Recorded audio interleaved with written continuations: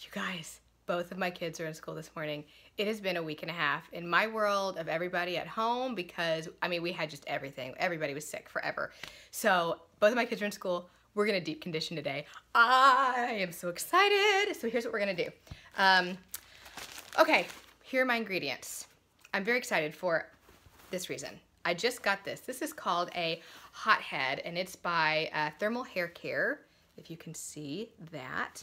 And I haven't used it yet. So this is a buckwheat filled cap buckwheat seed filled cap. And so you pop this in the microwave and heat it up. And I don't know if you're familiar with the brand Bucky. I'll show you one of those. So this is a Bucky, um, as you can see on the tag. Bucky and um, it's something that you put in the microwave and heat up and you can like use it if you've got a stomach ache or if your back hurts or your shoulder hurts or something you just Oh my gosh, in the wintertime you can tuck your hands inside them. I love these things, but this is the same concept because it's filled with buckwheat seeds. So when you pop this in the microwave and heat it up, it creates a nice like damp heat. It's just wonderful. It's not dry, it's delightful. So when I saw and I love these. And my mom has about 15 of these because we are people who are always cold. So my mom has a ton of these, and this is actually my husband's. And um, so when I saw that the um, Hot Heads were filled with buckwheat seeds, I thought, well, that's perfect for deep conditioning because A, it should speed my deep conditioning time because normally I leave on my conditioner for about an hour. This, I can leave it on for about 20 minutes because since the heat opens the hair shaft, the conditioner and water and everything you want to get under there should get into your hair shaft a lot quicker than leaving it just sitting on your hair with a cap on your head. So um, I'm going to pop this in the microwave for a couple minutes at a time, one a minute at a time, um, and I'll show you how I use it. And underneath that, I'm going to be using my Curl Rehab. This is my favorite deep conditioner that I talk about in, I don't know, every video that I've ever put together. Now underneath this, I'm gonna be using a plastic shower cap because this is reversible. It's terry cloth on the inside and prettiness on the outside. But I don't wanna get this all yucky. So this is gonna go on my head underneath and I'll be back shortly to show you exactly how it works. All right guys, here we are. I have put in my deep conditioner and I have my uh, disposable-ish shower cap on my head and I also like to put a towel um, a towel around my neck and just so you can see I have it in and I have a clip in my hair. I know a lot of people will just use a deep conditioner in the shower and then rinse it out. Um, I tried that and it just didn't work for me. It's like my hair got halfway conditioned. So anyway, so now we're here in my kitchen and I've got my Hot Head and it's time to pop it into the microwave. So let's do that. All right, let's see if I can get this to work for me here. Da da da da. Bop bop. Here we go. Okay, here you go. 30 seconds into the microwave.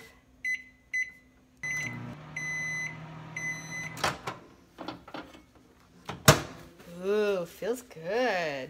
Okay, this feels pretty awesome. My microwave was pretty clean to begin with, so that's good. Okay, I'm gonna go ahead and just pull this on. Don't I look pretty? Oh, it feels so good.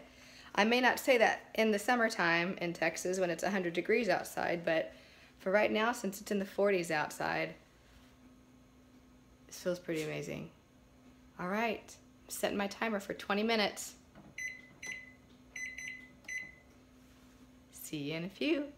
I ended up heating this up for a minute and a half. I did it three times in 30 second increments. So I did it once with the elastic facing up and then 30 seconds on high with the elastic facing down and then 30 seconds on high with the elastic facing up again. And that seems honestly to be perfect. This is the first time I've used it. So this is all an experimentation. Let's, let's see if it works out well and if it cuts my deep conditioning time like I wanted it to. How do I look? Do I look good? Do I look silly?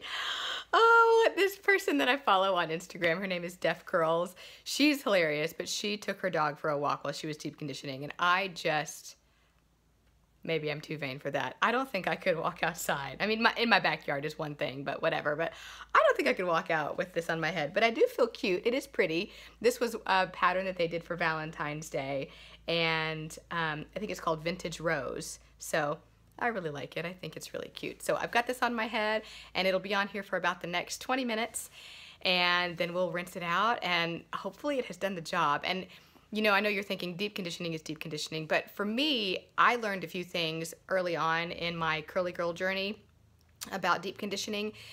Number one, I could not use deep conditioners that had shea butter as an ingredient that was pretty close to the top. I believe that the Curl Junkie Curl Rehab conditioner that I'm using has shea butter as like maybe the fifth or sixth ingredient, and that seems to be okay for whatever reason. But when I tried a couple of Shea Moisture deep conditioners, they left my hair really frizzy, and I thought that deep conditioning just didn't work for me.